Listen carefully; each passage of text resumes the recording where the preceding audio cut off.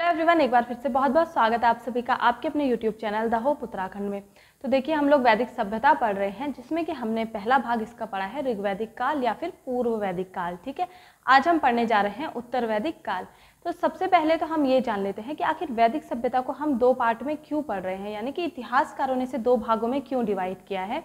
तो इसके पीछे का सबसे बड़ा कारण है कि जो ऋग्वैदिक कार्य, का, जो ऋग्वैदिक काल था, उसमें जो आर्य लोग थे उनकी कहीं ना कहीं संस्कृति, उनका रहन सहन आगे आने वाले टाइम में बदल गया था। इसलिए इसको उत्तर वैदिक काल कहा गया है, ठीक है? इसके साथ ही साथ जो आपका ऋग्वैदिक काल था, उसमें हमने पढ़ा कि तांबे का सबसे ज़्यादा या फिर टिन का ये लोग प्रयोग किया करते थे। लेकिन उत्तर वैदिक काल में आते आते इन्होंने लोहा भी ढूंढ लिया था, यानी कि लोहे का भी यहाँ पर प्रयोग ये लोग करने लगे थे। और अगर आपसे पूछा जाए कि लोहा जो है, इनको कहाँ पर सबसे पहले हमें लोहे से, लोहे के साक्ष्य मिलते हैं तो ये मिले हैं भारत में उत्तर प्रदेश के एटा ज़िले में।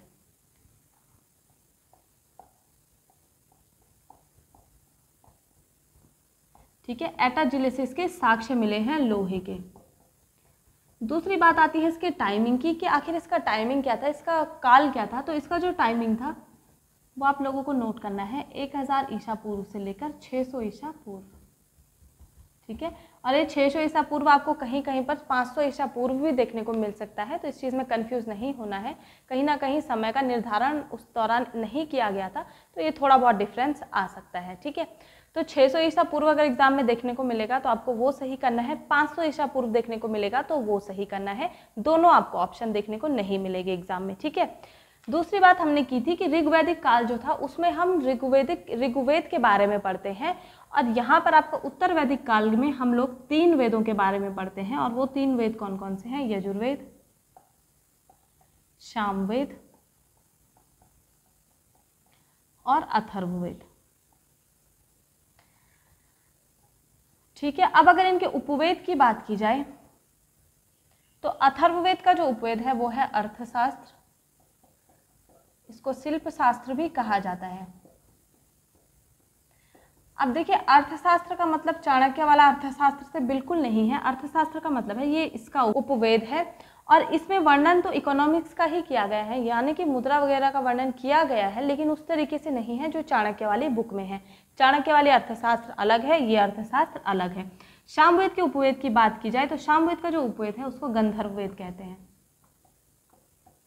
इसका क्या है? गंधर्व वेद और यजुर्वेद के उपवेद की बात करें तो इसका उपवेद है धनुर्वेद। ठीक है? तो इन तीनों में जो है समानता ही देखी गई है, यानी कि इनकी विषय वस्तु एक ही है, इसलिए इन तीनों वेदों को क्या कहा जाता है? इसको कहा जाता है वेद त्रही और वेद त्रही का मतलब होता है, इनकी जो विषय वस्तु है वो क्या है? सेम है। विषय वस्तु से क्या मतलब है? यानी कि इन तीनों वेदों में यज्ञ का वर्णन किया गया है पूजा पाठ का वर्णन किया गया है, भगवान की प्रार्थनाओं का वर्णन किया है, साथ ही साथ धार्मिक कर्मकांड का भी यहाँ पर वर्णन किया गया है। लेकिन जो आपका अर्थ वेद है अथर्व वेद है, इस अथर्व वेद में कुछ अन्य चीज़ों का वर्णन भी किया गया है, जैसे कि जादू टोना, वशीकरण तंत्र मंत्र।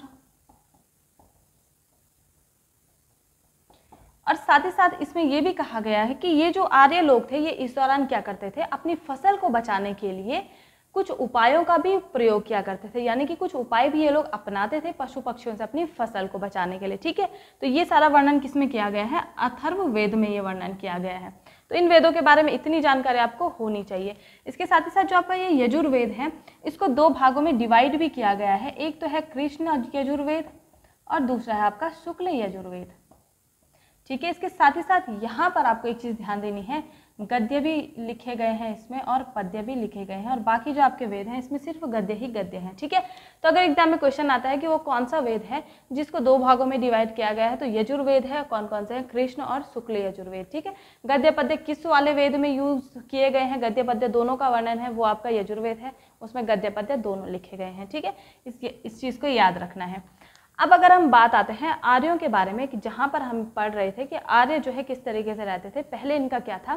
जो प्रशासनिक इकाई थी, यानी कि राजा का चुनाव किसके द्वारा किया जाता था? दो समितियों के बारे, दो समितियों से किया जाता था, दो संस्थाओं से, जिसमें एक थी समिति और दूसरी सभा, ठीक है? सभा और समिति के द्वारा राजा का चुनाव किया जाता था।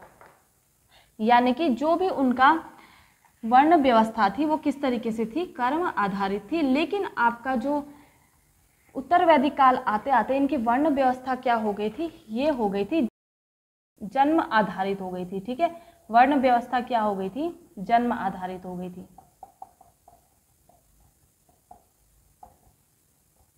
जन्म आधारित वर्ण व्यवस्था होने की वजह से क्या हुआ था? जो राजा का पुत्र है, वो आगे वाले, आने वाले टाइम में राजा ही बनेगा। ब्राह्मण का पुत्र ब्राह्मण ही बनेगा, शूद्र का पुत्र शूद्र ही बनेगा। तो इस तरीके की प्रथा उत्तर वैदिक काल में शुरू हो गई थी, ठीक है? इसके साथ ही साथ जो राजा था, वो पहले सिर्फ़ कबीले की देखभाल करता था, गायों की वो सेवा किया करता था, गायों की वो रक्षा किया करता था, जिसकी वजह से उसको क्या कहा जाता था? गौमती कहा जाता था, ठीक है? उसको क्या कहा जाता था? राजा को गौमती कहा जाता था। लेकिन उत्तर वैदिक काल में आते आते इस गौमती से ये क्या हो गया? कुलपति। यानी कि ये लोग पहले पशुओं के लिए लड़ाई करते थे। गाय को सबसे श्रेष्ठ माना गया था। उसी चीज़ के लिए ये लोग लड़ाई करते थे। गाय को दान देने का भी वहाँ पर क्या था? प्रचलन था। लेकिन यहाँ आते आते उत्तर वैदिक काल में आते आते भूमि के लिए भी ये लोग लड़ने लगे थे। यानी कि अभी अपनी भूमि का विस्तार करने लगे थे, ठीक है?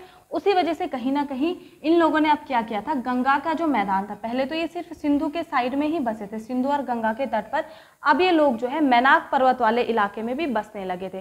और हिमालय के जो पूर्वी हिमालय है, वहाँ पर भी ये लोग बसने लगे थे। तो तीन पर्वतों का नाम आपको याद रखना है, वो कौन कौन से हैं? मैनाक, कौच और त्रिकुट।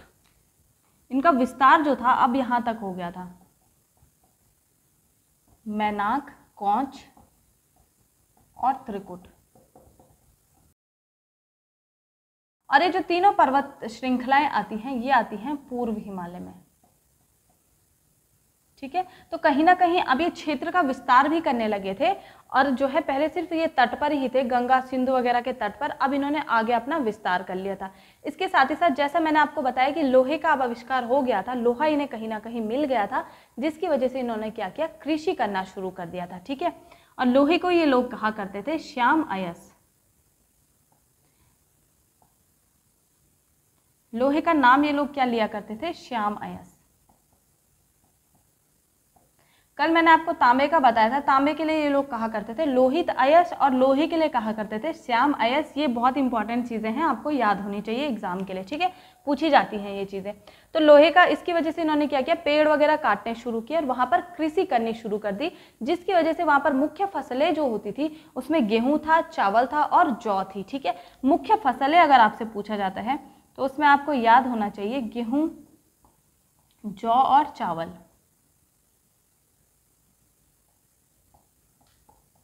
चावल इनकी क्या थी? मुख्य फ़सलें थी, ठीक है? तो यहीं से एक क्वेश्चन पूछा जाता है कि जो उत्तर वैदिक काल है, उसके आय का क्या साधन था? यानी वो किस तरीके से अपनी आजीविका चलाते थे? तो उत्तर वैदिक काल में आते आते इनके आय का जो साधन था, वो कृषि हो चुका था, ठीक है? और अगर हम पूर्व वैदिक काल की बात करें, यानी ऋग्वैदिक काल में इनकी आय का क्या साधन था? पशुपालन इनकी आय का साधन था। तो इन दो चीज़ों में आपको डिफरेंस पता होना चाहिए। ये क्वेश्चन एग्ज़ाम में पूछा जाता है, ठीक है? तो कृषि इनका क्या हो गया था? आय का साधन यहाँ आते आते तक हो गया था। इसके अलावा अगर बात करें महिलाओं की तो महिलाओं की स्थिति उत्तर वैदिक काल में आते आते कहीं ना कहीं थोड़ा नीचे चली गई थी। इस दौरान इन्हें जो है शूद्र के समान माना जाता था। यानी कि सिर्फ़ सेवा करवाने का काम ही महिलाओं से किया जाता था। ना ही इन्हें शिक्षा का अधिकार था, ना ही इन्हें यज्ञ वगैरह में बैठने का अधिकार दिया गया था और ना ही इनको जो है संपत्ति वगैरह का अधिकार दिया गया था। ठीक है? तो ये चीज़ आपको यहाँ पर नोट कर लेनी है। इसके अलावा आपको उत्तर वैदिक काल में जो है चार मृद भांडों का वर्णन मिलेगा। मृद भांड का मतलब है बर्तन, ठीक है? जैसा हमने सिंधु सभ्यता में पढ़ा था, वहाँ पर भी बर्तनों का उपयोग किया गया था, जो कि किस तरीके थे? काला और लाल उस पर जो है काले कलर से चित्रित किया गया था। उसी तरीके से यहाँ पर भी आपको चार मृद भांड मिलेंगे और इनका नाम कभी कभी एग्ज़ाम में पूछ लिया जाता है तो ये आपको नोट करना है। सबसे पहला मृद भांड है काला मृद दूसरा आपको लिखना है, काला पॉलिशदार मृद भांड।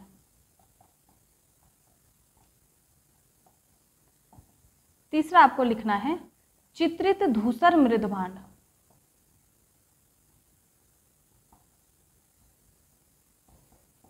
और पांचवा आपको लिखना है, लाल मृद भांड।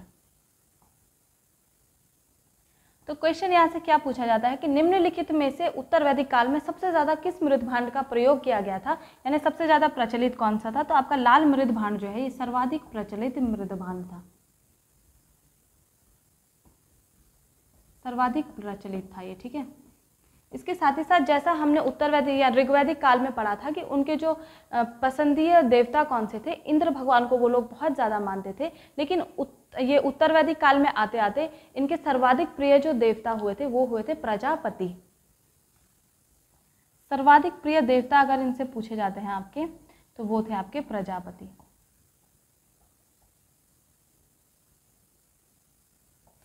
इसके साथ ही साथ विष्णु भगवान को ये लोग रक्षक के रूप में मान्यता थी उनको, विष्णु भगवान को रक्षक के रूप में मानते थे और पूषण एक देवता थे जो कि शूद्रों के देवता कहलाते थे। ठीक है नेक्स्ट आपको लिखना है पूषण।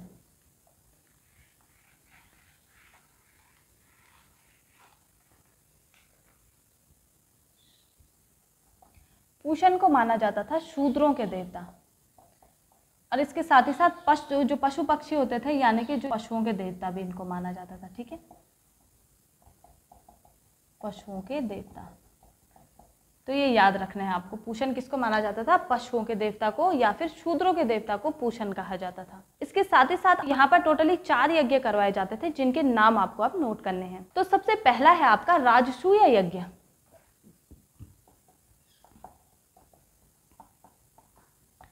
और राजसूय यज्ञ जो किया जाता था, वो राज्याभिषेक के टाइम पर किया जाता था। दूसरा है आपका, राजयूष यज्ञ। राजयूष किया जाता था दिव्य शक्ति प्राप्त करने के लिए।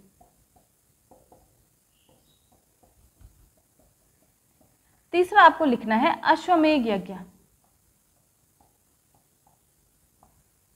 अश्वमेघ यज्ञ जो किया जाता था, ये राज्य का विस्तार करने के लिए किया जाता था।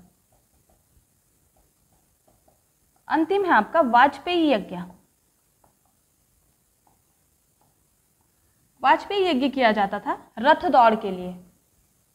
यानी कि जो रथ दौड़ ये करवाते थे, उससे ये अपनी शक्ति का प्रदर्शन करते थे। अश्वमेघ यज्ञ की बात करें तो अश्वमेघ यज्ञ आपने सुना भी होगा कि राजा क्या करता था? अपने घोड़ों को छोड़ देता था और जिस जिस राज्य से वो घोड़े जाते हुए जाएँगे, वो राज्य क्या होता था? राजा के कब्जे में आ जाता था। जहाँ पर उन घोड़ों को रोक दिया जाता था, वहाँ पर राजा को युद्ध करना पड़ता था, ठीक है? उसको कहा जाता था अश्वमेघ यज्ञ।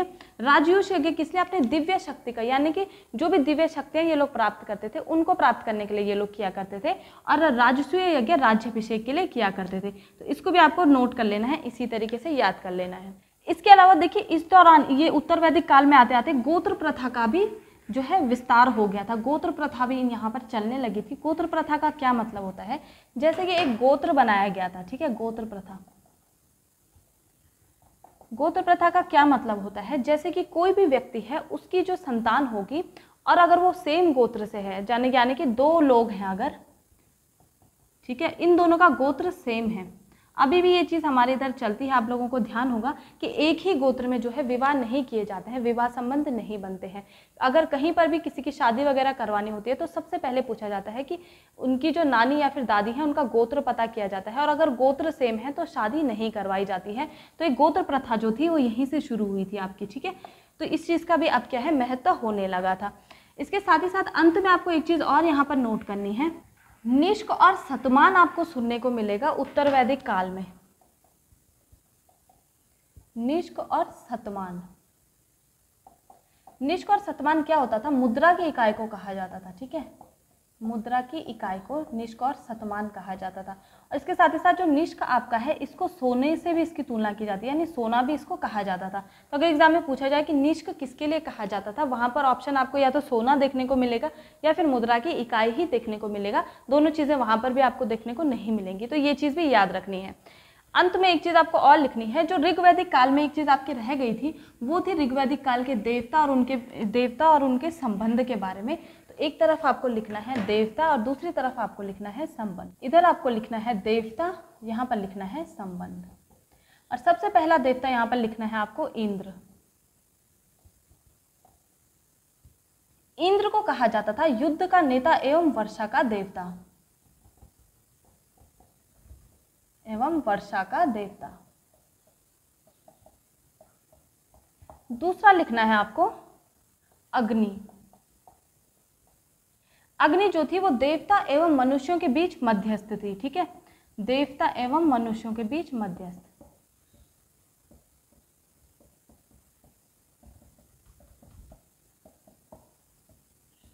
देवता एवं मनुष्यों के बीच मध्यस्थ। तीसरा आपको नोट करना है, वरुण। वरुण को कहा जाता है पृथ्वी एवं सूर्य के निर्माता।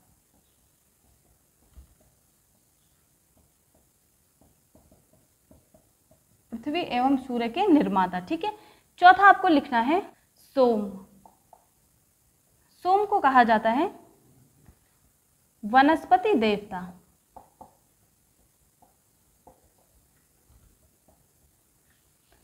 नेक्स्ट आपका विष्णु। और विष्णु को कहा जाता था विश्व के पालन करता